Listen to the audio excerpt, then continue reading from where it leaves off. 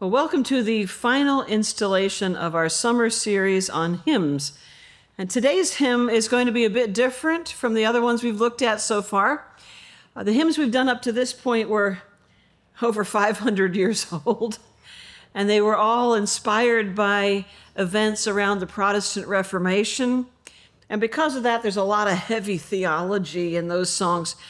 Not so much with today's hymn, although today's hymn is not a lightweight. Today's hymn comes from a more recent time, and I think it's sort of closer to us and where we are today than the hymns that we've looked at so far. So today's hymn, To God Be the Glory, which we just sang, has some solid theology behind it, but it also comes from a time when revival was on people's minds and hearts, both spiritually and socially. This was the time of the camp meetings that you've heard about in the history of the Methodist Church, when people would worship outdoors, sometimes for days on end, just camping outside. And the camp meetings were designed, first off, to reach the lost for Jesus, and secondly, to raise money to feed the hungry and help the poor.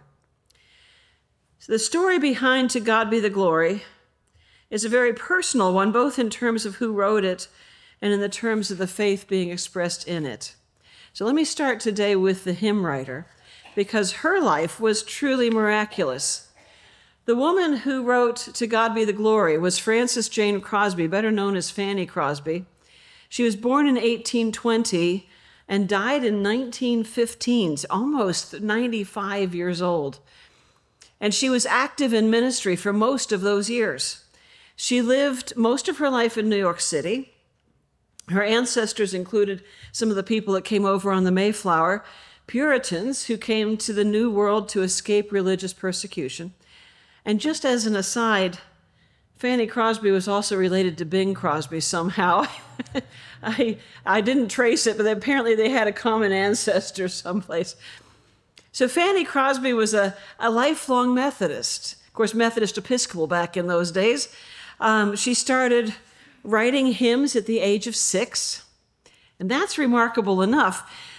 But what makes it even more remarkable is that Fanny Crosby was blind. Historians are not sure whether she was born blind or whether her eyes were damaged at the age of six weeks when she had an eye infection. And back in those days, they didn't really know how to treat eye infections well.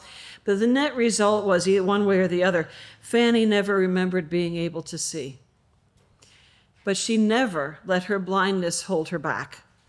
At a very early age, Fanny set herself a goal. She wanted to win a million people to Christ through her hymns. And whenever she wrote a hymn, she prayed that it would bring women and men to Christ, and she kept careful records of those who reported to have been saved through hearing her hymns. Now, I don't know if she ever reached that goal. But I, I, I want to point that out just as an encouragement to all of us that if a work of art touches us, if it inspires our lives in some way, it's a good thing to write or email those people whose creativity blesses us. The vast majority of musicians and authors and poets and other creative people never know whose lives they touch by doing what they do. And it can be a great encouragement to hear from someone who has been blessed by their work. Anyway, so like I said, I don't know if Fanny ever hit that 1 million mark, but her hymns certainly touched many lives, and they still do. And I pray that God would give each one of us a vision of what we are created to do that will bless others in a similar way. And just as, a side note, she wrote other hymns. I mean, she wrote a lot of hymns, but a few, a few that you might know: uh, "Blessed Assurance," "Tell Me the Story of Jesus," and "Near the Cross." Fanny Crosby attended school at the New York Institute for the Blind, which she entered at the age of 15, and by the age of 22, she was a teacher there. She taught English, rhetoric, and ancient history, which is kind of odd for a musician, but there we are. Lots of talent there. And there was not much that she couldn't do. And in her spare time, Fanny was also a lobbyist.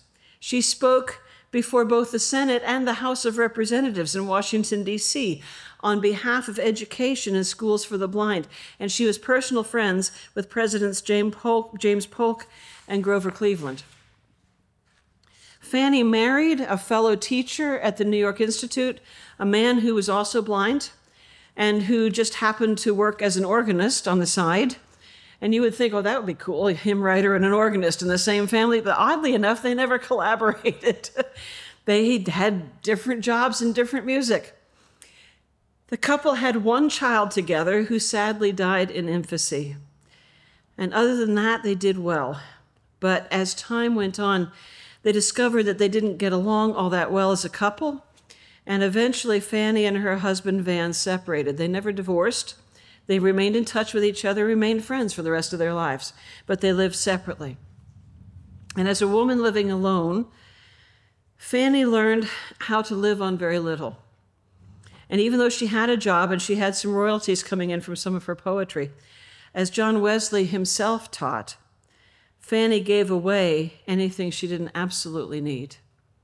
And eventually she ended up living in Hell's Kitchen in New York City and then in the Bowery. And these are both locations that movies have been made out of for how bad things were back then. She was right in the middle of that. And she personally provided for the needs of the people around her in those neighborhoods, the needs of the immigrants and the needs of the poor, while she was living among them. So the hymn To God Be the Glory was written around 1870, published about five years later, we're not sure exactly when, Oddly enough, though, the hymn was heard first by some British musicians while they were visiting New York, and they took it back home to England, where the hymn became wildly popular during British revivals of the late 1800s, and in fact was included in the British Methodist hymnal back in 1933. But To God Be the Glory was never widely known here in the States until it was discovered by Cliff Barrows and some of you might recognize that name. He was the music director of the Billy Graham Crusades. Cliff Barrows introduced this hymn to the Crusades back in 1954, and the popularity just took off. So, with all of this as background, what's the message that Fanny Crosby wants to share in this hymn? Different people have answered that question in different ways. Some people say that the hymn is a planet wide call to worship. That's actually not bad, actually. Everybody worship God, yes. Others have said it's a description of how people are redeemed, how redemption works. For me, I think the best places to start is, is in 1 Corinthians 10 31, where Paul says, Whether you eat or drink or whatever you do, do it all to the glory of God. So, with all of this said, I'd like to turn to our scripture readings for today, which all point in the same direction. In Psalm 29, King David, the author, starts off by saying, Ascribe to the Lord glory and strength.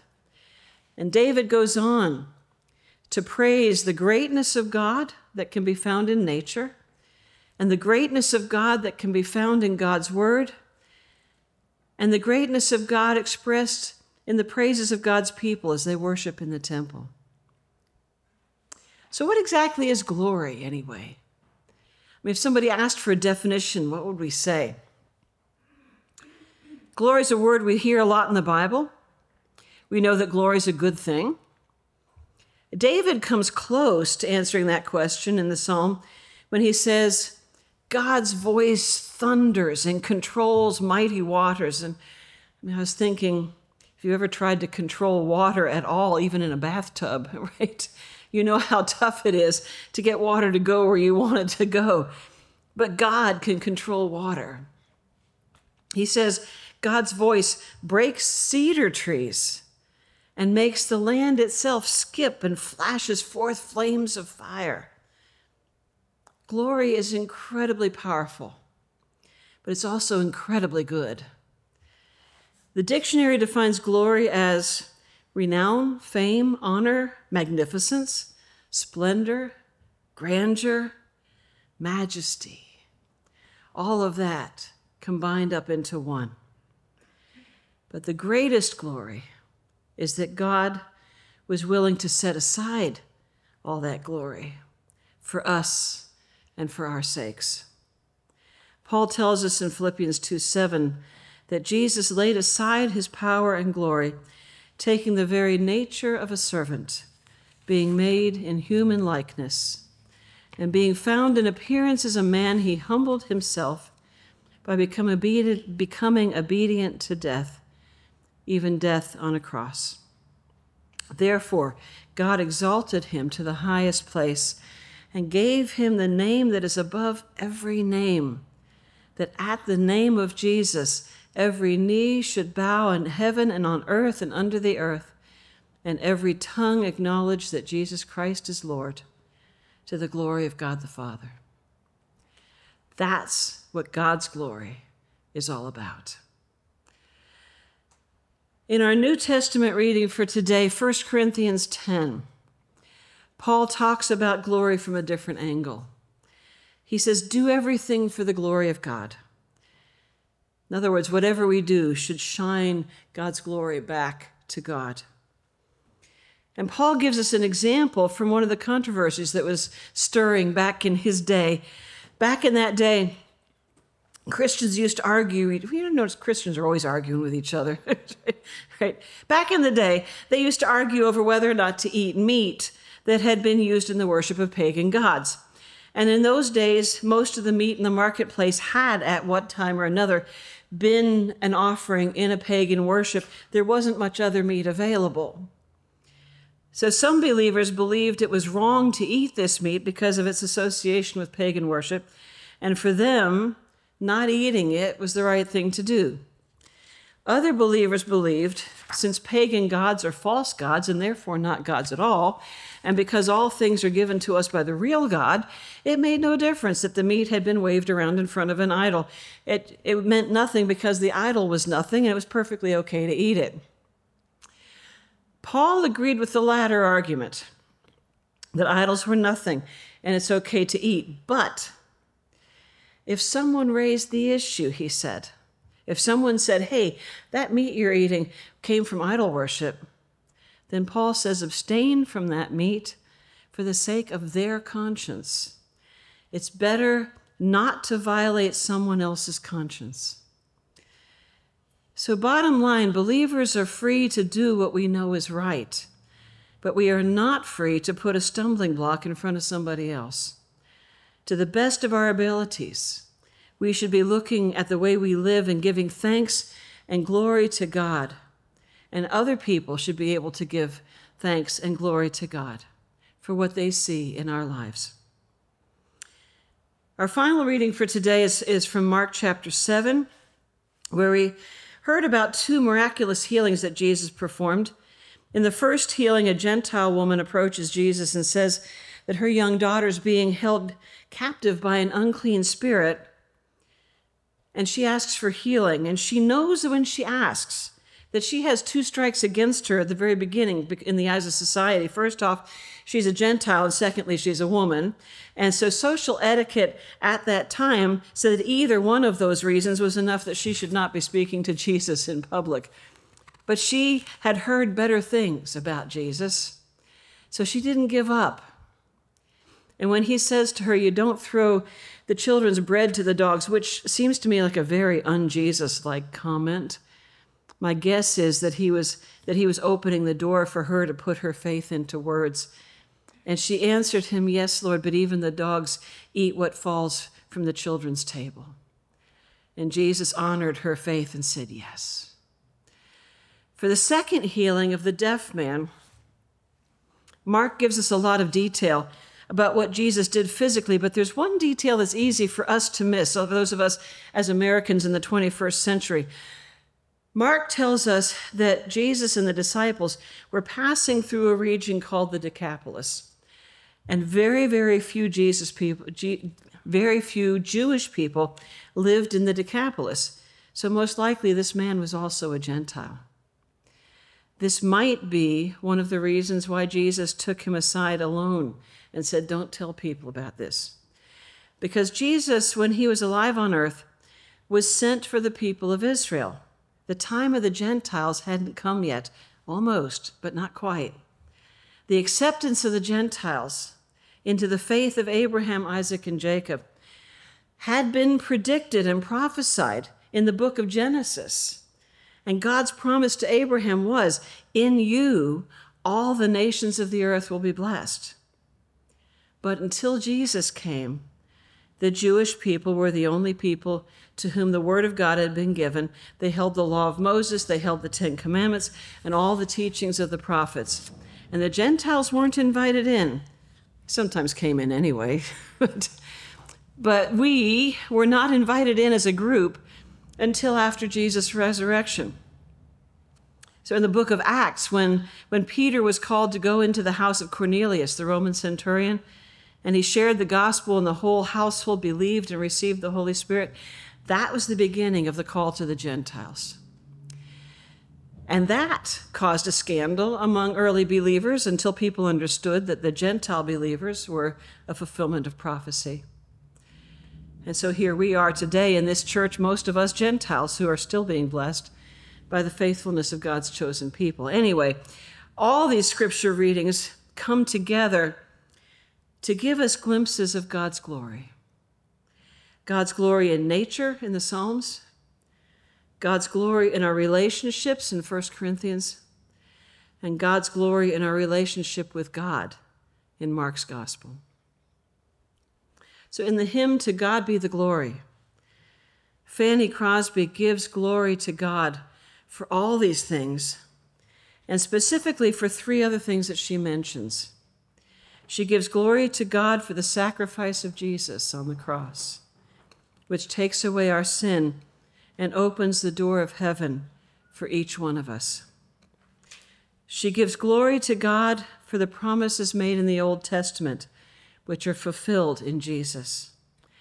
And in verse 3, Fanny gives us a glimpse of what we will feel when we first see Jesus in God's kingdom in the world to come. In the end, when we are reunited with God face to face, we will see God's glory. And Revelation 21 describes something of what we will see in that eternal city. John writes, I saw no temple in the city, for the temple is the Lord God, the Almighty, and the Lamb. And the city has no need of sun or moon to shine on it for the glory of God is its light, and its lamp is the Lamb. The nations will walk by its light, and the kings of the earth will bring their glory into it. Its gates will never be shut by day, and there will be no night there. People will bring into it the glory and the honor of the nations. And that, brothers and sisters, is our future. Glory is the business of eternity. For those of us who love Jesus, we will be surrounded by glory forever and ever. For all these reasons and more, we can join with Fanny Crosby in singing To God Be the Glory.